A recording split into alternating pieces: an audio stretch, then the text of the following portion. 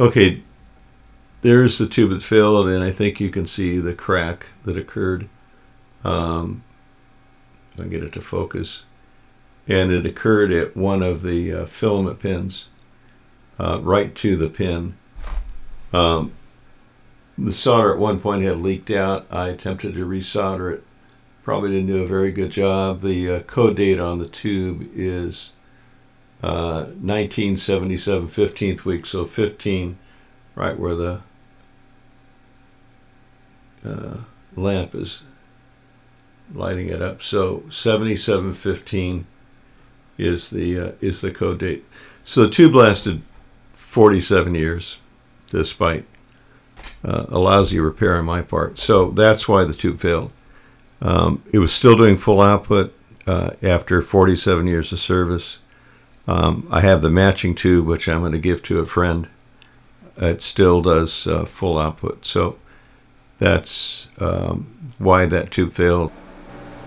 Okay, so here's my Drake L4B amplifier. Uh, it's set at 2500 volts. The load control is at zero. I'm Going to move it up a tad. Uh, now I am transmitting into the amp, but I forgot to engage it. So turning it on now and tuning for max out, uh, which occurs with a fairly uh, minimal load control.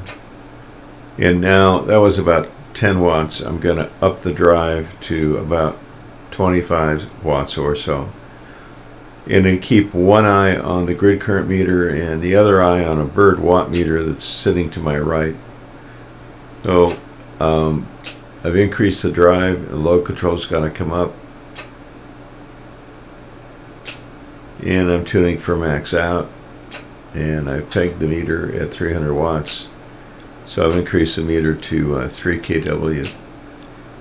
Um, plate current here is uh, what is it, a couple hundred mils.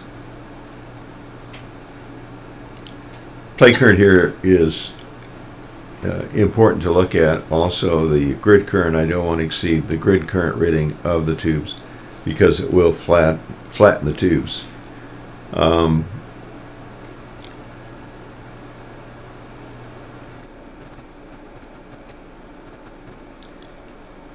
so I'm increasing the uh, load control a tad going to key the amp again with uh, drive in the FM mode so I have a solid carrier and um, adjust the uh, the plate tune and plate load control uh, should say load control for maximum output that's what I'm looking at is maximum output.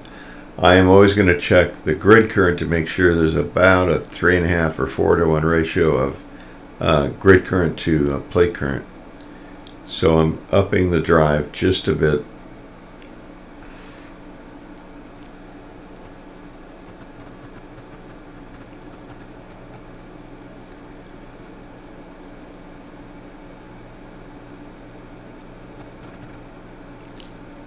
And again, the goal here is to tune for max out. So I've upped the drive uh, to uh, 30 or 40 watts, keying the amp, and uh, going to tune for a max output, which will occur with a higher load control. And I know that just based upon experience, it's going to take a, a higher uh, loading number to make it work.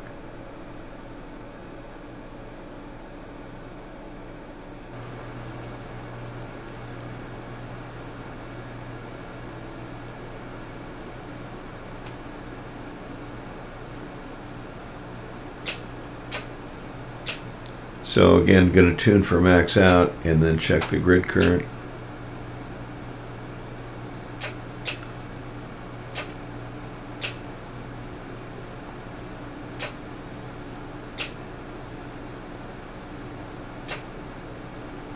At some point, the uh, amount of uh, uh, output is going to start to go down. Uh, the grid current is about 200 mils. Um, I need to change that. So I'm going to up the drive just a bit and uh, retune. What I want to do is keep the grid current uh, in the range of a couple hundred milliamps and um, go for max out. So the grid current now is about 200 milliamps, and the plate current's coming up to about six or 700.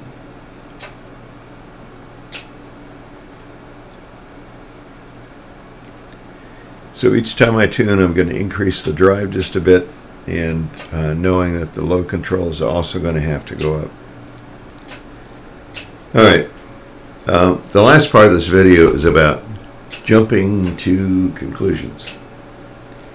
So I open up the amp, take the old tubes out, and one of them is cracked. Uh, my first thought was, well, I'd done a, a lousy job soldering the pin uh, that carries the filament current.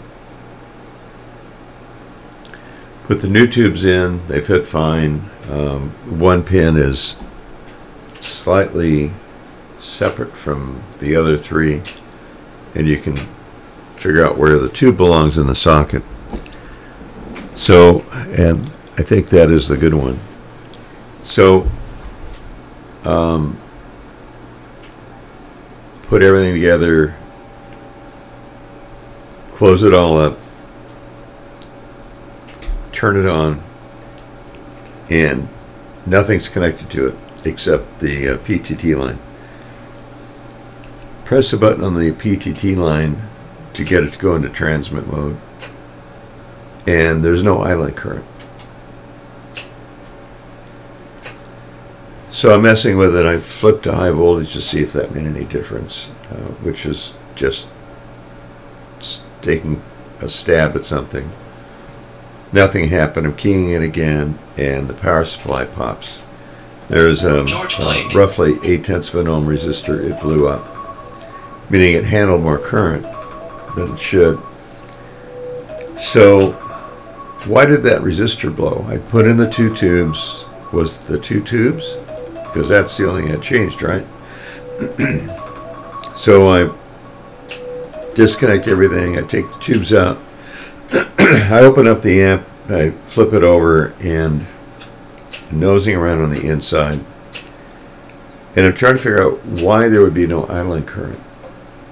Um, I have a bias supply yeah, which is a string of diodes. So I'm messing with that. Son of a gun. One of those diodes broke loose from the next one in the chain. They were in a, a piece of heat shrink. So that explained to me why I had no idling current because I had no connection to the cathode of the tube tubes. So I build another string of diodes, put them in the amplifier, put the cover back on, put the screws in, turn upside down, put the cover on, put the screws in, key it again, same thing. Uh, what the heck? The only thing I've changed now is the two tubes. Well, that's not true. I changed the string of diodes. So I get the diodes out, I, out, I desolder them and get them out, put them on the desk, I'm checking them with a meter and one or two don't check quite right and it turns out that the housing of one of the diodes, the wire had broken off right sheer flush with the housing. And it was laying in the chassis. And I thought, what is the chance of that happening? so I make that repair and I'm checking the rest of the diodes and another one tests shorted. So when I took them out of the, the bin where I keep my diodes, that was a bad diode. I didn't know it, no point in keeping a bad diode, so it ended up in the trash. But it was shorted. So, um, jumping to conclusions, it still doesn't work. I make the repairs, it still doesn't work. Uh, what the heck can it be? Talk to my friend David, see if he had any ideas. Louis 6DGH, and um, he suggested I take another look at the diodes.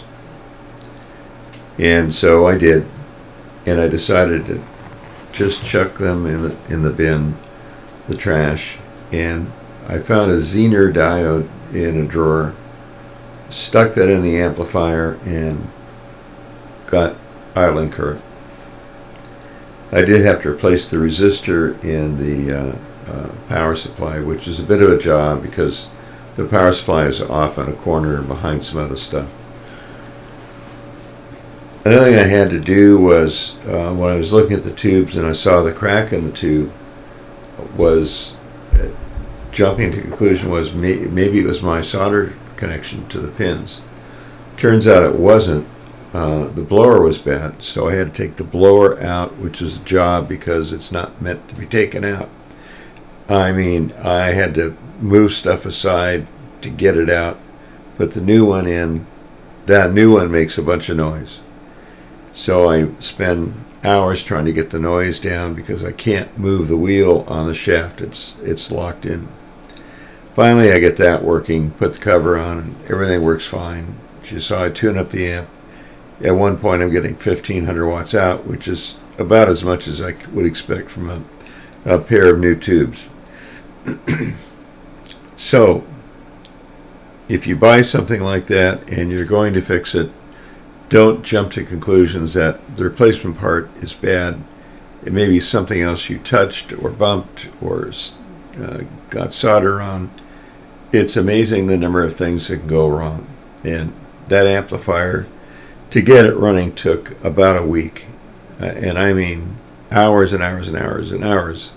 At one point, I was thinking, do I need to just part this thing out and call it quits? No, I don't. It still needs some work, but it's still a, a good amp with a, Peter Dahl transformer. anyway, if you would like to support this channel, there's a way to do that in the description through Patreon. Um, if you have not subscribed, please do that. We're that close to 50,000. And uh, I hope you've enjoyed it. Give me a thumbs up if you have. Give me a thumbs down if you haven't. And if you would like to make a comment, that would be great. I'm Jim, your YouTube Elmer, saying 73. Thanks for watching. See you the next time. Hopefully, it won't be as complicated as that amp. See you later.